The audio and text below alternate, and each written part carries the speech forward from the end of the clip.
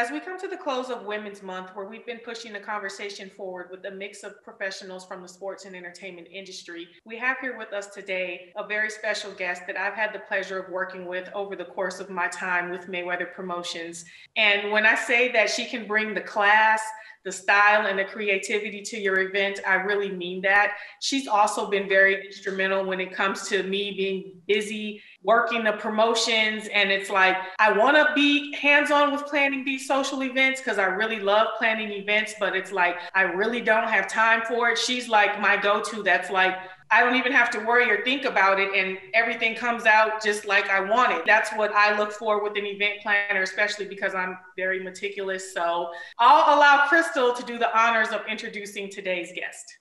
Thank you, Nicole. And you know the bar is set high when we're talking about events, especially in Las Vegas. The things that you don't see behind the scenes when you go to an event, this next guest is the person who's responsible for all the stuff you don't see behind the scenes. And I've actually had the pleasure of meeting her. We actually honored her in one of our past events, the Titans of the Trade event, for her accomplishments. So without further ado, founder of Las Vegas Events Company, FNOM, Jennifer Burbank. Hi, ladies. Thank you so much for the warm welcome. And ladies and gentlemen, I promise I didn't pay these ladies to say all those nice things. They're amazing women and they should really be proud of themselves because this is an incredible series. Thank you. We're incredibly proud of it, and we hope that everybody who's been watching has been inspired by all of the wonderful ladies and their stories your story was one of the most interesting in the best way possible stories. I can't wait for people to get to know you. As we all know, we like to start off the show with the icebreaker. So we're going to do a 60 second challenge, Jennifer. Whenever you're ready, Nicole's going to be the timer. Ready? Ready. All right. Name as many animals as you can. Cheetah, panther, bear, rabbit, coyote, dog, cat, fish, wolf, buffalo, antelope, giraffe. Mm, I think that's it. countries as you can. Seoul, uh, South Korea, I'm sorry, France, England, Japan, China, United States, Denmark, Sweden, Switzerland, Austria, Australia. I don't know. I'm going to stop right there because it's so much pressure. I don't want to give your story away. Um, like I said, I have learned so much just going through your bio and all of the information that you provided with us. So I'll let you kind of share some of your more memorable moments from growing up and those experiences that molded you. Well, I actually started out as a basket baby. I was left in a basket at a church outside of Seoul, South Korea. And I was found by an American priest and raised in the Star Sea Orphanage. I've been able to get back to Seoul on a few occasions. And I've even been able to visit the church that I was left at and spent the day with the children at my orphanage. And it was an incredible experience. But soon after that, about a year later, I was eventually adopted by an Italian American family, and they transported me from Seoul to Avon, Massachusetts. It's a tiny town, 20 minutes south of Boston. And I literally grew up as one of the only Asian kids in my town at that time. And this was a time where there wasn't any PC, there was no, you know, welcoming cultural diversity. It was just tough being in Boston, especially on the East Coast, because they are relentless. So I was constantly under the microscope, and I was definitely the butt of every Asian joke. And I didn't look anything like my family. So that also didn't help the situation either. But if I could go back in time, I wouldn't change anything because it forced me it forced me to be stronger and it actually gave me a really thick skin that I use to my advantage today. And, you know, I don't get rattled very easily. And I've also just know that I can overcome any obstacle that comes my way. When I tell you, when I was reading it, I was like, where's the popcorn? This is like, like, I was like, and then that happened? And what? And I was just like, this is like incredible. so it's they, story thank you for thank you for sharing that so you kind of spoke to the next question of what i was going to ask what i guess what has always been the driving force for you having dealt with adversity having to deal with like you said just being the butt of jokes and like having to explain to people what your background is and you know just all of these different experiences like what has been the single driving force for you to this day I wouldn't say it's a single driving force. I mean, I've always had that, you know, self motivation, that drive to be better and to succeed. But I would say that when I was younger, I definitely looked up to my grandmother. She was the epitome of a strong woman. She was a firecracker. She's Italian and part Cherokee, and she never backed down from anybody. She also actually ran all the business operations for my grandfather's cabinet company. And that wasn't usual for that time. Mm-hmm. So I remember she would practice one liners and comebacks with me that I could shut the bullies down at school. And then I also have to say my mom, because I remember she jumped on that school bus one day because she was tired of hearing about it. And she had me basically point out all the kids on the bus that were making fun of me. So I knocked them all out. And then she actually like reamed them. She ripped them a new one. So I definitely respect her for that. And I always remember that. And she also always told me I could, you know, be anything and do anything I wanted in life. And she instilled that at a very young age. And I actually took it to heart. And I still believe that today. Wow. Strong women for sure. so you okay, tell me how tell us how you ended up in Vegas from Boston to Vegas and city. I mean, uh, well, I mean, there was a lot of different spots in between that. Basically, I mean, I'll just kind of take you through the whole journey, and you might want to grab a cocktail because it's a little bit of a long one. so, I graduated from high school when I was 17, and I had the ability to go to some of the best colleges in the New England area. And instead, I decided on Florida State University, which at that time was the number one party school in the nation. I know my priorities are in order, right? but that set the stage for what I do today. I know how to party and I really know how to throw a great one. Right after college, I was accepted as a creative director for a company in San Salvador, El Salvador. And that was about 2000, about 2000. And then I, you know, ran the creative direction. I immersed myself in a totally different culture and even learned Spanish, which was an amazing experience. But my real dream was to start my own business. So in 2003, I relocated to Miami and I started my first business, Phenom Recordings. That was a music, music entertainment company, and the focus was music production. But that actually led me to throwing my first event. In 2005, I met the Grammy Award winning group, the Digable Planets, and somehow I actually convinced them to let me throw their concert in Miami. I had never thrown a concert before, or I've never planned an event. I had zero event experience. And I really hope they're not watching this right now. Apologies in advance. But that little voice inside my head was like, you have to do this. You have to take that risk. And I did it. And I actually took out an equity line on my condo to finance the event, which is definitely not financial advice. I know. And so the event actually was packed, but I didn't make a dime. I actually lost a lot of money. And it was a lot of hard work for a big fat loss. But I realized that by taking that risk, I actually learned how to throw an event from top to bottom. And sometimes the best educations are from the school of hard knocks for sure. After that, I closed Phenom Recordings. And in 2006, I relocated to Las Vegas and I started my second business, Phenom Entertainment. And that was a focus on booking. Um, I would book artists internationally and nationally, and sometimes even traveled as a tour manager. But that somehow led me back to events. In 2007, I actually produced the City of Las Vegas Hip Hop Culture Festival. Shout out to Dwayne McIntyre. He actually was a partner on that. And we worked with the city to produce the festival. It was targeted to at risk youth in the city. But if you've ever done any work with the city, you know how much red tape they tend to impose. So the city didn't release our promotions until two days before the festival. So I had booked all these artists and had them fly in to perform and speak to the kids, and they showed up to basically an empty festival plaza. It was a complete embarrassment and a total nightmare. And then shortly after that, uh, 2008, the market crash hit. And then I had uh, multiple properties that were upside down. So I actually had to declare bankruptcy. It wasn't what I wanted to do. It was my ultimate last resort, but I was about a, almost a million dollars in debt from those properties, so I had no no other solution.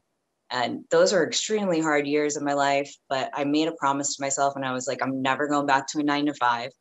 I'm gonna, you know, hustle up business every single month just to get by. And those were incredibly long years. It was about four years before 2012 when I actually had the opportunity to work with the D Hotel to do the VIP launch parties for the VIP gaming.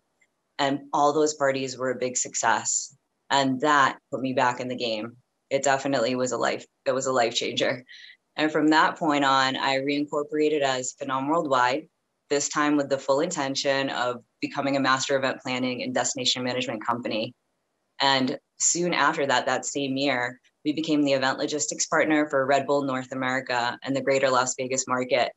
And since then, we've been fortunate enough to cultivate incredible event partnerships with brands, some of the biggest brands around the world, including Mayweather Promotions, which I actually heard that Nicole is starting her own business. And I'd love to get details on that if possible. I'm venturing out myself into the entrepreneurial world, and I have acquired three of the Mayweather Boxing and Fitness franchise locations Vegas. So those will be coming real soon, real soon. Yes, an exciting venture for me, and I look forward to seeing you at the gym. that is amazing. Congratulations. Thank you. I mean, just listening to your story, I guess well, not I guess, I know that there were days that you would wake up and you probably felt like, how am I going to get myself out of this? Like, what was it that kept you going when you felt like you kind of kept hitting, getting stalled with these new ventures and things that you were trying to do and like it just didn't work out? Like, how did you keep yourself focused? I just always reminded myself that there's a thin line between success and failure, and that's definitely perseverance. So I would put that same amount of faith and, and actual determination and effort in every single day, even when I had no idea, you know, what was going to happen that day. You never know when you're going to get that big break in life.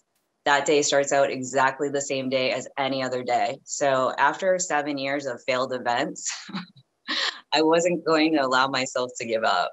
You know, what if year six, I gave up and then year seven was the day I was going to make it? It's it, I would it would kill me not to know. So I just kept trying. Those are the stories that people need to hear because people always hear the success and they hear, you know, the good side of it, but people don't hear the I failed X amount of times before this. To hear from start to finish your story, I feel like it's important because there's people who are currently feeling like they're failing. They're experiencing failure in businesses that they're trying to do.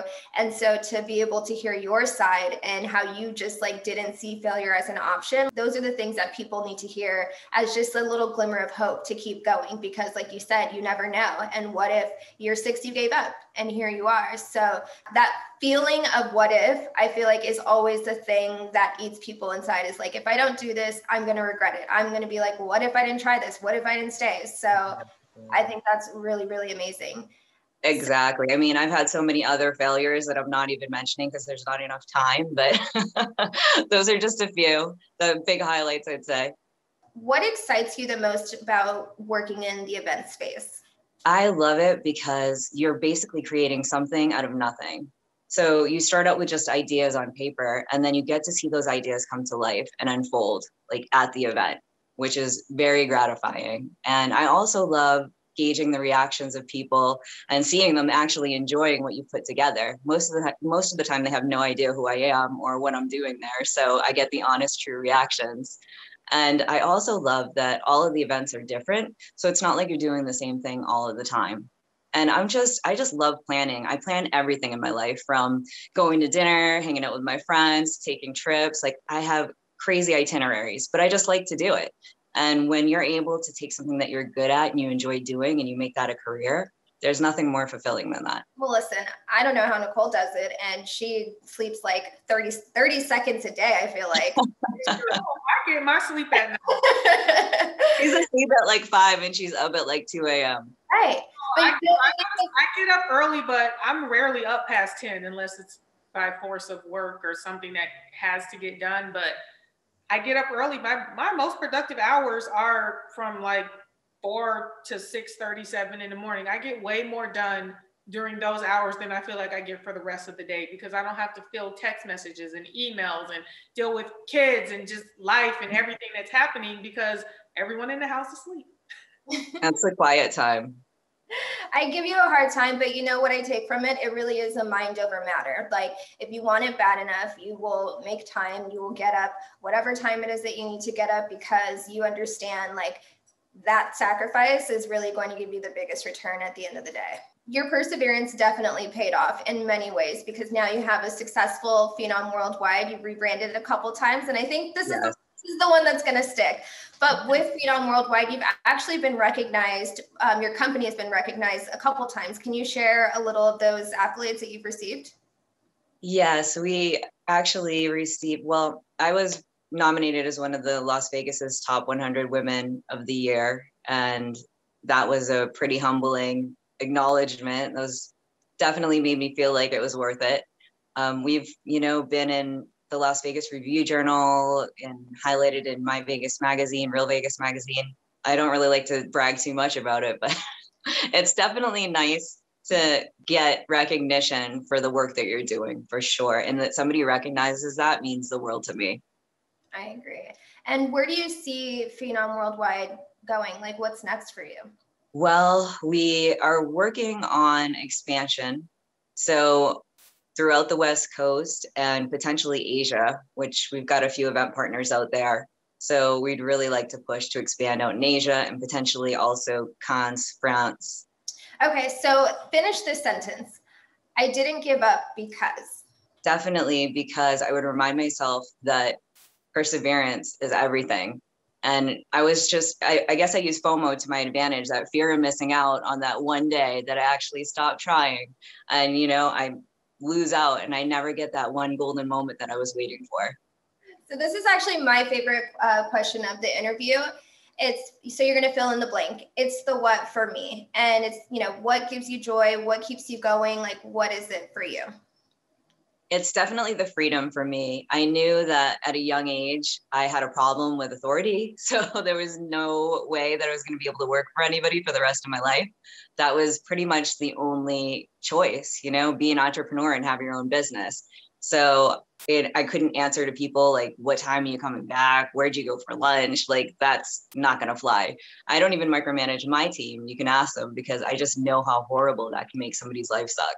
So for me, it's the freedom for someone who wants to be an entrepreneur and doesn't know where to start is there a short answer or advice that you could give you know aspiring entrepreneurs definitely you should read a book. If you don't know about something there's so many resources out there where you can learn and you, it's so easy now. You just you know google research figure out what books there are available and read and then get out there and actually apply it to life. You know nobody's stopping you. Nobody's saying that you need an education to make something happen. Look at my concert. You know i th- i brought i brought the planets planets concert over and i had no idea what i was doing nobody told me not to. Nobody told me to. It's just you have to take the initiative. And if you really want something, do your research, read a book. There's so many great resources out there and just make it happen. Apply it to your life. The sooner the better. And I can add to that to say pick an area of interest, especially if you're going to be an entrepreneur. Don't pick something that looks good on someone else, that someone else is having success at.